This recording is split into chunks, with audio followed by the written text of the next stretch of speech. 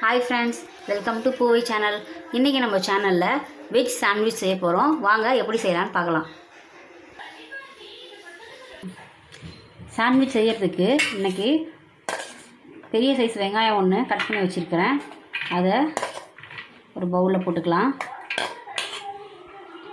தக்காளி ரெண்டு தக்காளி கட் பண்ணி வச்சுருக்கிறேன். அதையும் சேர்த்துக்கலாம். நீங்கள் உங்களுக்கு எவ்வளோ வேணுமோ அவ்வளோ சேர்த்துக்கோங்க.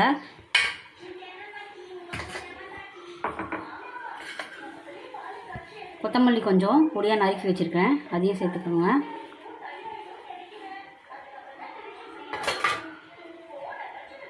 சால்ட் உப்பு ஒரு கால் ஸ்பூன் போட்டிருக்கேன். மசாலா நான் இன்றைக்கி வந்து நூடுல்ஸ் மசாலா சேர்த்துருக்குறேன்.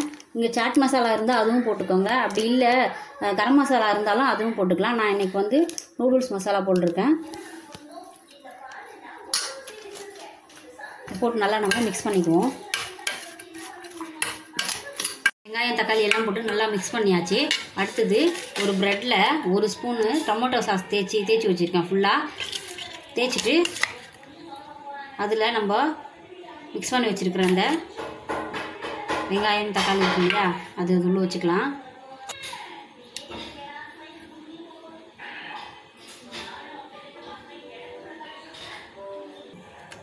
வெங்காயம் தக்காளி வச்சு ஃபில் பண்ணியாச்சு. அதுக்கு மேலே நம்ம ப்ரெட்டை வச்சு முடி நம்ம இப்போது தவாவில் வச்சு டோஸ்ட் பண்ணிக்கலாம்.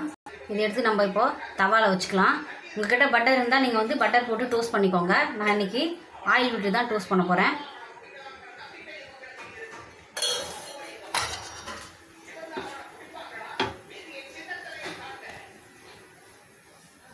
சாண்ட்விச் ரெடி ஆயிடுச்சு. இந்த அளவு கலர் மாறினோடனே நம்ம எடுத்து பிளேட்டுக்கு மாற்றிக்கலாம் நம்ம சாண்ட்விட்சை கட் பண்ணிக்கலாம்.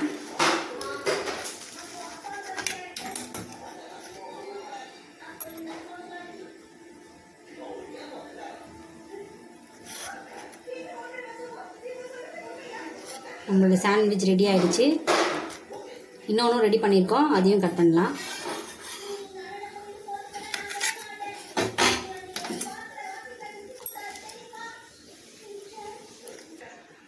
நம்மளுடைய சாண்ட்விச் ரெடி ஆகிடுச்சு நீங்களும் இதை வீட்டில் செஞ்சு பாருங்கள் செஞ்சு பார்த்துட்டு உங்களுடைய கமெண்ட்ஸை மறக்காமல் எங்கூட ஷேர் பண்ணிக்கோங்க.